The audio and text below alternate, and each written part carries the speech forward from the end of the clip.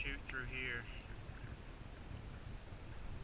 And we tumped up against those trees and then spilled everything out all along there. Fortunately, that down cedar tree caught everything. And we regrouped right here.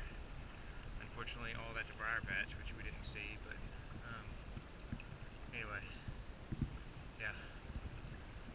Baptism.